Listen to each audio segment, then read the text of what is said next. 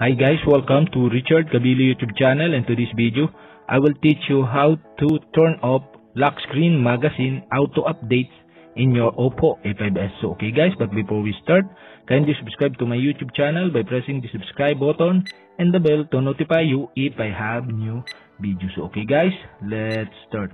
You all have to do is go to setting in your Oppo A5s mobile phone. Okay guys, here in settings, okay, go to home screen and lock screen magazine. Okay, click this. And okay guys, here in home screen and lock screen magazine, you can see the lock screen magazine. Okay, click lock screen magazine. And okay guys, here in lock screen magazine, okay, you can see the auto update. Okay, click this.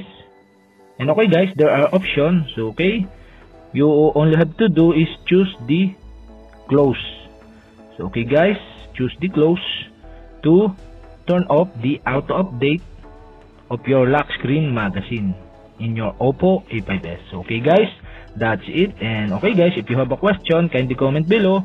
And don't forget to hit the subscribe button and the bell to notify you if I have new videos. Okay guys, thank you for watching.